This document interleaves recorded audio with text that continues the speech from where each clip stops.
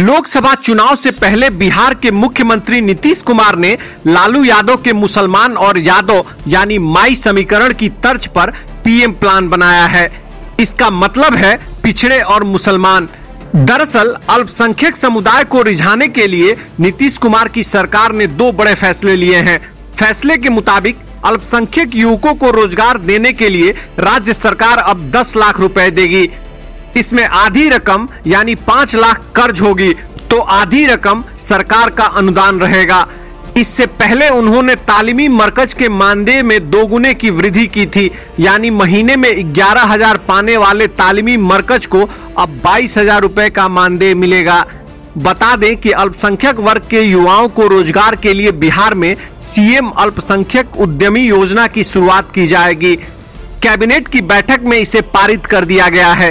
योजना के तहत अल्पसंख्यक युवाओं को परियोजना लागत को देखते हुए 10 लाख रुपए का कर्ज राज्य सरकार मुहैया कराएगी।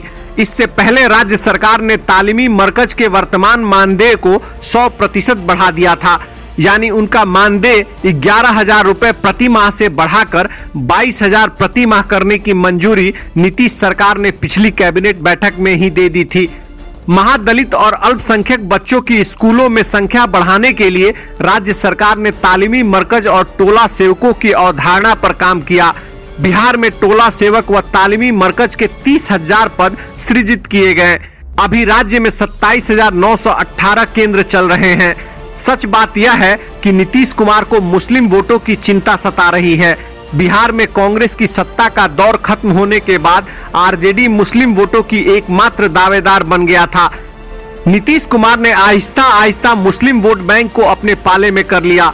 भाजपा के साथ रहते हुए भी नीतीश से मुस्लिम वोटर नहीं बितके।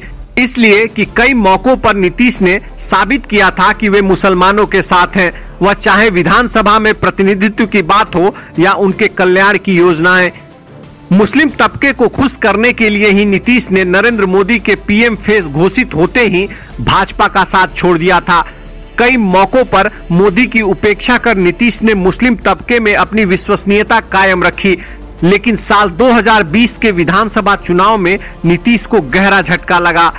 नीतीश कुमार को झटका तब लगा जब उन्होंने साल 2020 के विधानसभा चुनाव में अपने हिस्से की 122 में 10 प्रतिशत सीटें मुस्लिम उम्मीदवारों को दे दी, लेकिन एक भी नहीं जीता।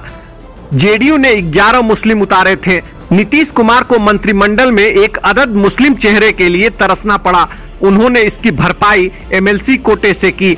ऐसा सिर्फ़ नीतीश के भाजपा के साथ आते जाते रहने के कारण हुआ। साल 2015 के विधानसभा चुनाव में जेडीयू का पार्टनर आरजेडी था। तब नीतीश की पार्टी से पाँच मुस्लिम कैंडिडेट जीते थे।